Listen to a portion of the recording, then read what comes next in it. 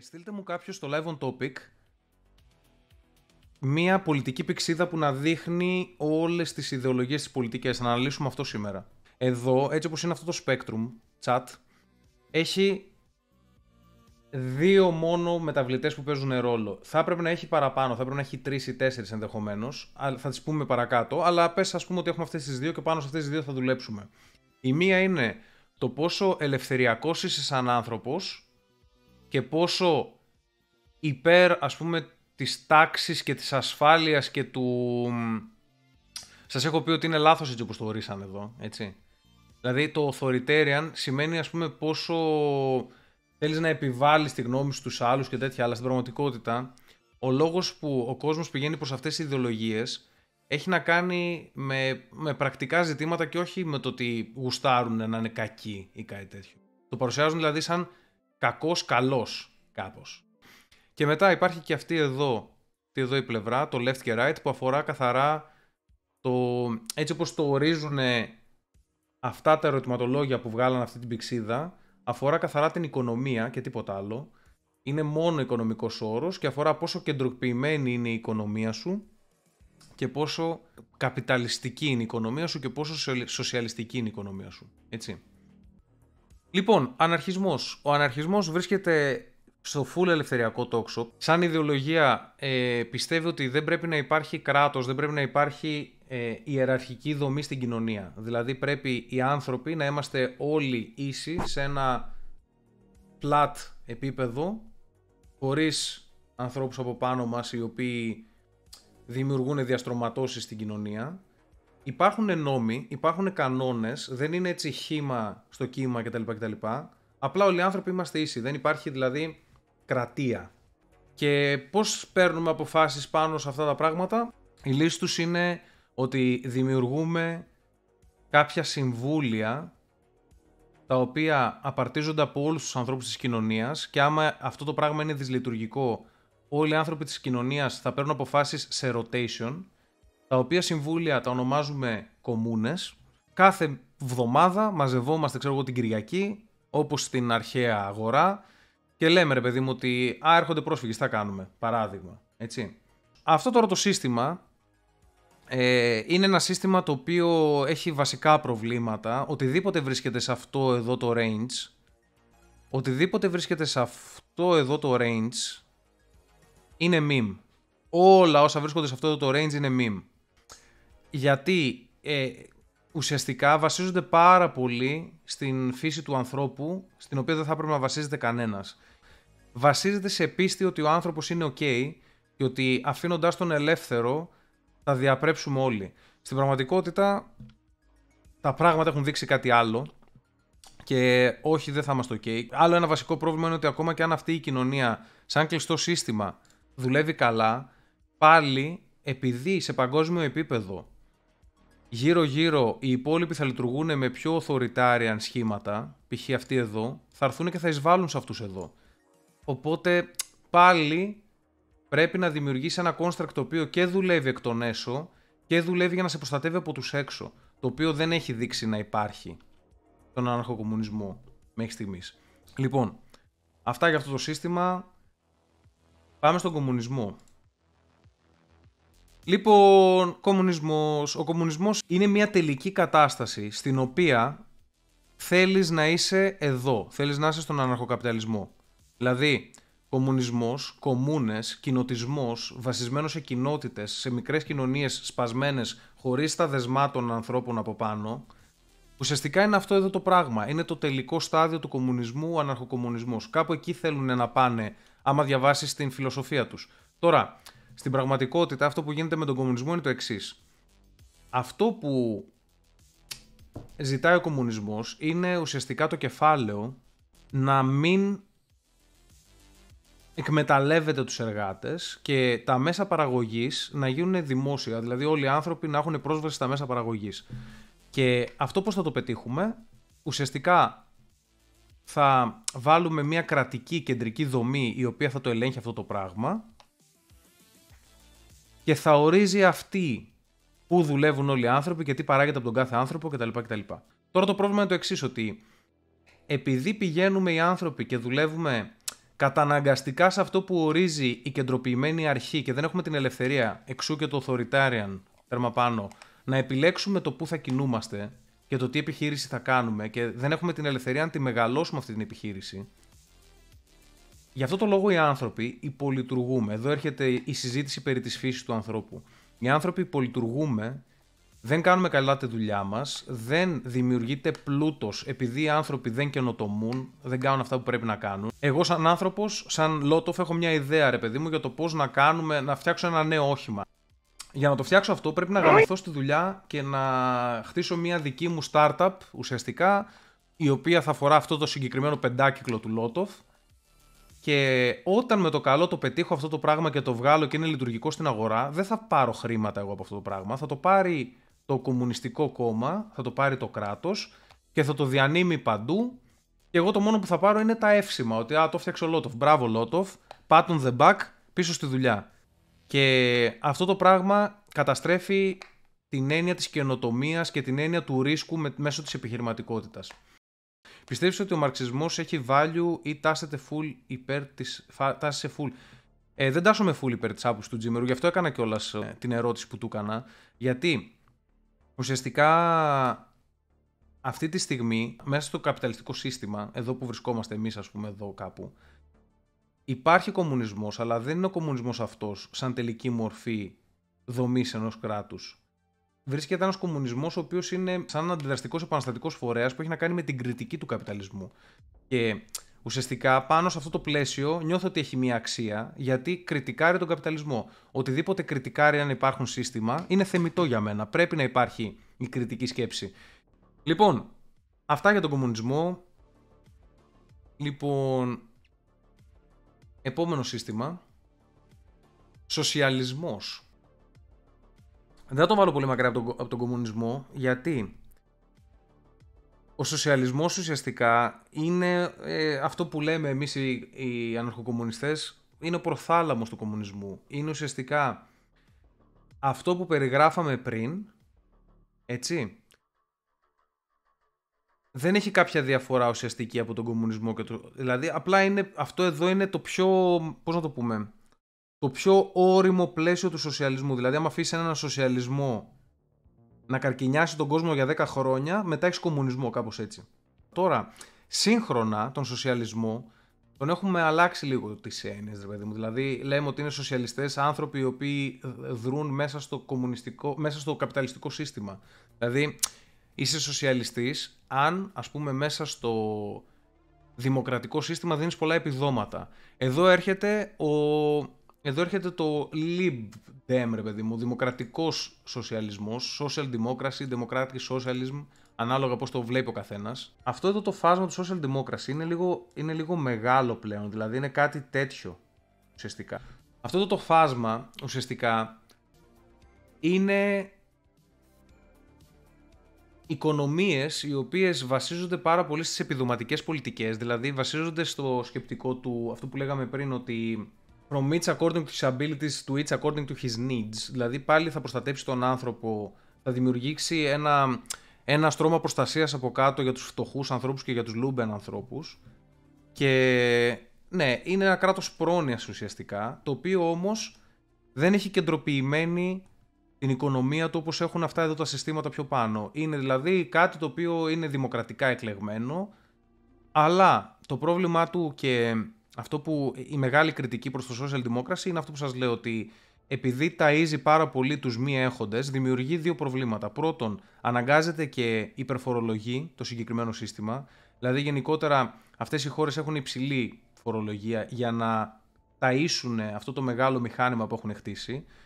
Και το δεύτερο πρόβλημα είναι ότι κάνει τους ανθρώπους να, να κάθονται πιο πολύ με τα επιδόματα και να είναι λιγότερο παραγωγικοί, ας πούμε ένα construct το οποίο ουσιαστικά από τη μία πλευρά ταΐζεται και από την άλλη ταΐζει.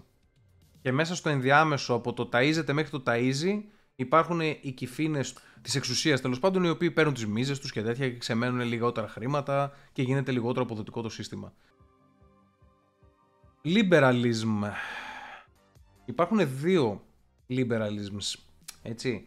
Υπάρχει το liberalism της Αμερικής, που λέμε οι liberals τέλος πάντων, οι οποίοι είναι κάτι τέτοιο, είναι κάτι τέτοιο, οι liberals της Αμερικής, ουσιαστικά, ίσως και λίγο τέτοιο, ας πούμε. Κάπου εκεί είναι οι liberals της Αμερικής. Αλλά στα σοβαρά κράτη, ρε παιδί μου, το σύστημα είναι κάπου εδώ το συγκεκριμένο του liberalism. Εδώ είναι και ο Τζίμερος, εδώ είναι και όσοι, ξέρω εγώ, έχουν να κάνουν με... Είναι, είναι πολύ δύσκολο να τους ορίσεις τους liberals, γιατί είναι μεγάλο το φάσμα τους και οι απόψεις τους. Υπάρχουν liberals που είναι προς αυτή την κατεύθυνση, που είναι προς την authoritarian σοσιαλιστική κατεύθυνση. Υπάρχουν liberals οι οποίοι είναι προς την αναρχοκαπιταλιστική κατεύθυνση. Υπάρχουν και εδώ liberals. Είναι πολύ ευρύ αυτό το φάσμα. Εγώ, ας πούμε, δηλώνω φιλελές. Δηλώνω φιλελεύθερο άνθρωπος. Δηλώνω ότι είμαι κάπου στη μέση, έτσι. σω πιο πολύ προς τον καπιταλισμό, αλλά μου αρέσουν και τα επιδόματα σε κάποιο βαθμό. Μου αρέσει, ας πούμε. Εδώ μέσα, ας πούμε, μπορείς να βάλεις, ξέρω εγώ, την κυβέρνηση της Σουηδίας. Εδώ, ξέρω εγώ, θα βάλεις τον Τζίμερο, κάπως έτσι. Εδώ θα βάλεις την κυβέρνηση της Νέας Δημοκρατίας. Θα βάλεις την κυβέρνηση του ΣΥΡΙΖΑ. Το θέμα είναι ότι αυτό εδώ και ο λόγος που ορίζω τον εαυτό μου σε αυτό το πλαίσιο είναι το λειτουργικό πλαίσιο της κοινωνίας το συγκεκριμένο. Έτσι. Δηλαδή, όλα αυτά τα άλλα είναι role playing και μαλακίες. Όλα τα υπόλοιπα. Οι σοβαροί άνθρωποι εντασσόμεθα εδώ. Αυτό εδώ. Δεν ξέρω πώς να τα ορίσω αυτά τα πράγματα. Φτιάξουμε δική μας ιδεολογία, αγγές. Ρεαλιστικός φιλελευθερισμός. Λοιπόν, πάμε παρακάτω. Συντηρητισμός. Λοιπόν, ο συντηρητισμός και αν είναι ξεχυλωμένη και μεγάλη έννοια. Ο συντηρητισμός γιατί είναι τόσο ευρία έννοια. Γιατί οι βασικές της αξίες είναι πολύ παντού, να το θέσουμε έτσι. Γιατί ο συντηρητισμός ορίζει ως εξής την ιδεολογία του. Ότι πρέπει να συντηρήσουμε τις δομές και τους θεσμούς της κοινωνίας μας, οι οποίες μας έδειξαν ότι μέχρι τώρα λειτουργούν. Δηλαδή έχουμε μια κοινωνία η οποία, ξέρω εγώ, πέρασε την ε, βιομηχανική επανάσταση, εξελισσόμαστε συνεχώς, πηγαίνουμε προς καλή κατεύθυνση και έρχεται ο συντηρητικός και σου λέει, ωραία, συνεχίζουμε ό,τι κάναμε. Μην κάνεις τρέλες, μην ζητάς έξτρα πράγματα περίεργα. Έρχεται και σου λέει, ας πούμε, ότι κοίταξε, έτσι όπως είναι η δομή της οικογένειας όλα τα χρόνια, ή έτσι όπως είναι η θέση της γυναίκας όλα τα χρόνια, ή έτσι όπως είναι η θέση των γκέι όλα τα χρόνια, έτσι λειτουργήσε το σύστημα και διέπρεψε. Οπότε πρέπει να το διατηρήσουμε σε μεγάλο βαθμό έτσι. Πρέπει να κρατήσουμε τα έθιμά μας τα παλιά. Πρέπει να. Γενικότερα οτιδήποτε αναχρονιστικό και old school φαίνεται να έχει δουλέψει, ο συντηρητικός θέλει να το διατηρήσει. Και ο προοδευτικός άνθρωπος, που είναι στους liberal και στους social democracy ουσιαστικά, έρχεται και του λέει ότι πρέπει συνεχώς να αλλάζουμε τα πράγματα και συνεχώς να προσπαθούμε να καινοτομήσουμε. Είναι, είναι ένα debate το οποίο είναι άσκοπο και χαζό, κατά τη γνώμη μου. Έτσι. Ε, θα έπρεπε, εννοείται ότι όλοι οι άνθρωποι θα έπρεπε ταυτόχρονα και να θέλουμε να διατηρήσουμε πάρα πολλά πράγματα και να θέλουμε να προχωρήσουμε πάρα πολλά πράγματα στην κοινωνία. Αυτά είναι ο συντηρητισμός. Ε, μου αρέσει σε κάποια πράγματα, σε άλλα πράγματα δεν μου αρέσει. Για παράδειγμα, ο συντηρητισμός ε, πιστεύει πάρα πολύ στην πυρηνική οικογένεια. Πιστεύω και εγώ πάρα πολύ στην πυρηνική οικογένεια. Ταυτόχρονα, ας πούμε, πιστεύει πάρα πολύ στην έννοια της θρησκείας. Εγώ δεν πιστεύω πάρα πολύ στην έννοια της θρησκείας. Έχει πολλά στεγανά και μπορεί να σε πάει σε ένα σημείο, ρε παιδί μου, να μην εξελίσσεται καθόλου η κοινωνία επειδή έχουν γίνει συντηρητικοί άνθρωποι. Έτσι. Από την άλλη, δεν θέλεις μια κοινωνία η οποία έχει κομμένα τα φρένα και τα πετάνε από εδώ και από εκεί, πηγαίνουν από εδώ και από εκεί, δοκιμάζουν συνεχώς καινούργια πράγματα και δεν υπάρχει ένας κορμός κοινωνικός πάνω στον οποίο δουλεύουν οι άνθρωποι, κάποια σταθερά πράγματα, όπως ας πούμε η έννοια του πατέρα και της μητέρας. Προοδευτισμός υπάρχει παντού σε όλο το φάσμα. Δηλαδή, σχεδόν σε όλα τα κινήματα υπάρχουν άνθρωποι οι οποίοι θέλουν να κάνουν ριζικές αλλαγές στην κοινωνία. Το κίνημα του Χίτλερ ήταν προοδευτικό κίνημα για την εποχή του. Ήταν ένα κίνημα το οποίο ήθελε να καταλύσει τις υπάρχουσες αξίες έτσι όπως ήταν μέχρι τότε και αυτό το κίνημα βρίσκεται εδώ, έτσι, βρίσκεται πουλ ψηλά σε authoritarian βάση. Ο λόγος που τον βάζουν εδώ τον ναζισμό όλοι και θα συμφωνήσω κιόλας, έτσι, είναι ότι ο ναζισμός ε, σαν κίνημα ε, έχει, πρώτα απ' όλα έχει τις βάσεις του σε σοσιαλισμό, έτσι. Ουσιαστικά είναι full authoritarian κίνημα το οποίο ελέγχει πλήρως τις ζωές των ανθρώπων. Κάποιος ρώτησε πιο πριν στο chat για ποιο λόγο τον έχουμε βάλει, τον βάζουν γενικότερα left και right στο ίδιο πλαίσιο. ο ναζισμός σαν φιλοσοφικό κίνημα ήταν κριτική προς και τα δύο οικονομικά συστήματα, γιατί τα θεωρούσε και τα δύο εβραϊκά συστήματα. Ήταν ουσιαστικά ένας τρίτος δρόμος μίξης, όπου έχουμε καπιταλιστική οικονομία, δηλαδή οι άνθρωποι έχουν την ελευθερία της δικής τους ιδιοκτησίας και μπορούν να κάνουν τη δουλειά που θέλουν, ας πούμε, αλλά πάλι είναι πολύ ελεγχόμενα τα πράγματα από το κράτος και εν τέλει όλα ανήκουν το fatherland, ας πούμε.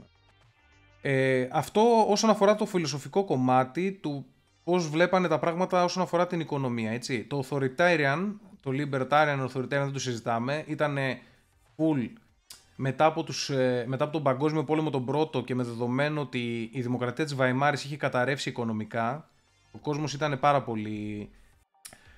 Ε, πήγανε προς την authoritarian κατεύθυνση ούτως ή άλλως εκείνες τις εποχές σε τόσο παλιές ιδεολογίες όπως ο κομμουνισμός και ο ναζισμός το authoritarian είναι ψηλοδεδομένο chat.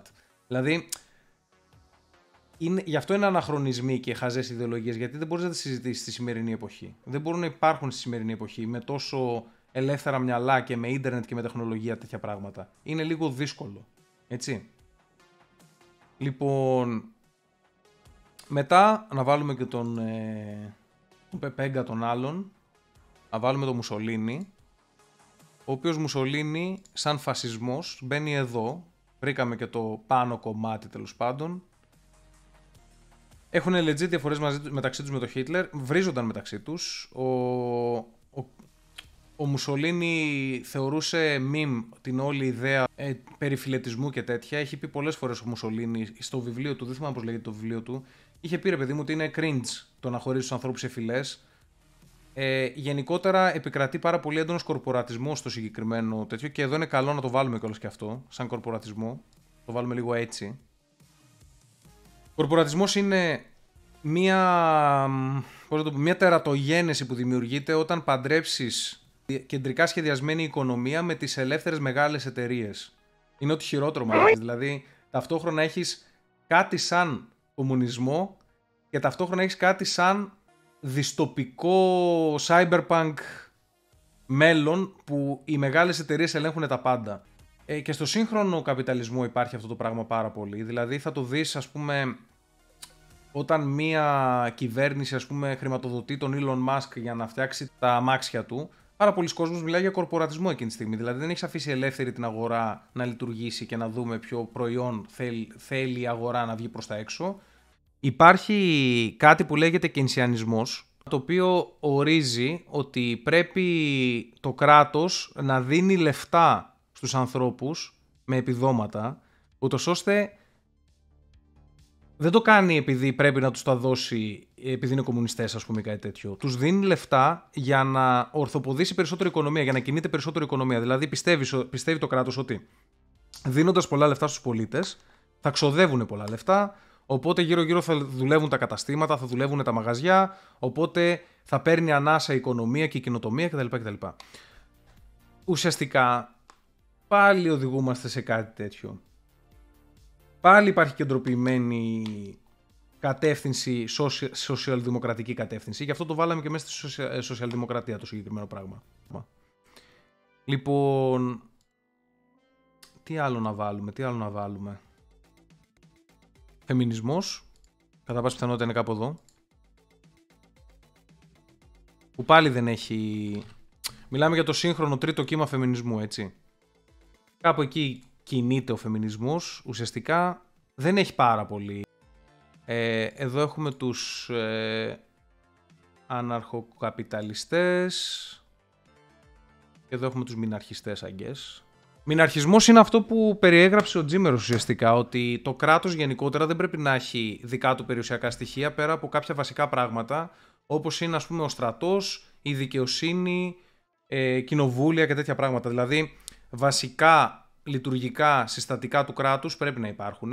Τα υπόλοιπα όμως δεν μπορούν να είναι παρά ιδιωτικές εταιρείες. Τις παραλίες, ας πούμε. Οι παραλίες μπορούν να είναι πιο. πρέπει να είναι ιδιόκτητες, ας πούμε, κάτι τέτοιο. Τα δάση μπορούν να είναι ιδιόκτητα. Έτσι, αυτό, αυτό ζητάει ο μηναρχισμός. Που μου αρέσει εμένα προσωπικά ο μηναρχισμός. Και απλά είναι λίγο υπερπροοδευτικό και ακραίο σύστημα με την υπάρχουσα δομή κρατική που έχουμε οι άνθρωποι, έτσι. Λοιπόν, ας τελειώσουμε λίγο με τους φίλους μας τους αναρχοκαπιταλιστές. Εδώ έχουμε πολλούς. Έχουμε τον Crow, ας πούμε. Έτσι, έχει, έχει κόσμο που είναι uncap, μη ηρωνικά, σε αυτόν τον κόσμο.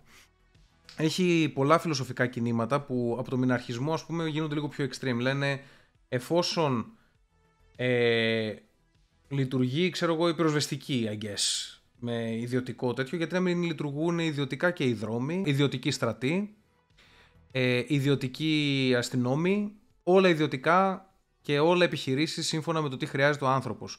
Ταυτόχρονα οι αποφάσεις που λέμε πώς θα παίρνουμε αποφάσεις και τέτοια δεν θα παίρνουμε αποφάσεις. Ο καθένας θα κάνει αυτό που θέλει μέσα στα πλαίσια που ορίζει το Non-Aggression Principle, δηλαδή το NAP. Εφόσον δεν καταπατάς κάποια ελευθερία κάποιου άλλου εσύ πρώτος, τότε δεν σου καταπατήσει και αυτός την ελευθερία σου. Οπότε, πώς λειτουργεί αυτό το σύστημα, έχουμε όλοι όπλα και αν κάποιος παραβεί τους κανόνες, θα τους σκοτώσουμε. Οι υπόλοιποι. Κάπως έτσι. Είναι, είναι μια ηλίθια ραντομιά του τύπου μια φαντασία που ξέρω εγώ, ο κάθε άνθρωπος μπορεί να πάρει τα όπλα του και να πάει να έχει το δικό του ιδιόκτητο νησί και βλακίες, πράγματα τα οποία δεν μπορούν να υπάρξουν σε κανένα, σε κανένα λογικό πλαίσιο. Ο αναρχοκαπιταλισμός είναι η μεγαλύτερη πεπεγγιά από όλα αυτά εδώ που έχουμε. Δηλαδή, ο αναρχοκαπιταλισμός είναι πιο αστείο σαν προσέγγιση από τον κομμουνισμό. Ο κολεκτιβισμός είναι στην αναρχία περισσότερο, ε. Αν και παίζει και στον κομμουνισμό. Όχι, όχι, δεν... Ε, δεν τίθεται θέμα. Ουσιαστικά, κολεκτιβισμός... Ο κολεκτιβισμός και ο ατομικισμός, σαν έννοιες, πώς να τις βάλεις τώρα αυτές; Ατομικισμό θα έλεγες ότι είναι αυτό εδώ και κολεκτιβισμός είναι αυτό μαζί με αυτό. Βλέπεις ότι υπάρχουν έννοιες, κάτω θα τα σβήσω αυτά, υπάρχουν έννοιες τις οποίες δεν μπορούμε να τις βάλουμε πάρα πολύ εύκολα. Ο συντηρητισμός και ο προοδευτισμός και ο ε, κολεκτιβισμός με τον ε, ατομικισμό δεν μπορούν να μπουν πάνω σε αυτό το πλαίσιο εδώ. Σωστά. Πρέπει ουσιαστικά να έχουμε τρεις διαστάσεις, τέσσερις διαστάσεις, να μιλάμε κολεκτιβισμό και τέτοιο. Λοιπόν, libertarianism είναι όλο αυτό εδώ. Όλο αυτό εδώ είναι libertarianism. Libertarianism είναι, είναι ας πούμε το κίνημα της Αμερικής, που είναι το τρίτο κόμμα της Αμερικής, οι οποίοι είναι υπερβολικά φιλελεύθεροι, or something. Τέλος πάντων, οι ελευθεριακοί δεν είναι άνθρωποι οι οποίοι ας πούμε, πιστεύουν ότι το κράτος δεν πρέπει να μας ελέγχει στο τι κάνουμε. Μπορούμε να αυτοκτονούμε, Μπορούμε να παίρνουμε ναρκωτικά όσα ναρκωτικά θέλουμε. Μπορούμε να έχουμε ό,τι όπλα θέλουμε. Αυτό φυσικά προϋποθέτει ότι οι άνθρωποι είμαστε συνειδητά καλά όντα κτλ. κτλ. είπαμε ότι όλες αυτές οι έννοιες εδώ κάτω βασίζονται στην ανθρώπινη φύση. Το, ήταν το πρώτο πράγμα που είπαμε κιόλας εδώ. όλο αυτό εδώ βασίζεται στην καλοσύνη της ανθρώπινης φύσης. Έτσι. Και όλο αυτό εδώ βασίζεται στο ότι ο άνθρωπος είναι για τον μπούτσο και πρέπει να τον ελέγχουμε. Κανένα από τα δύο δεν είναι ε, αρκετά ακριβή. Βέβαια, αυτό εδώ το πάνω, για να είμαι πιο δίκαιος, είναι πιο κοντά στην αλήθεια. Δηλαδή, εγώ πιστεύω ότι οι άνθρωποι έχουν μια μέτρια φύση, αλλά πάλι πρέπει να τους αφήνεις ε, ελεύθερους. Δηλαδή, εμένα το όριο του authoritarian libertarianism, έτσι όπως είναι τώρα η ανθρωπότητα, είναι κάπου εδώ. Δηλαδή, πιστεύω στους ε, νόμους, πιστεύω στο ότι οι άνθρωποι δεν πρέπει να είμαστε ελεύθεροι να κάνουμε ό,τι γουστάρουμε. Πιστεύω δηλαδή στην ε, ένομη τάξη κτλ. κτλ.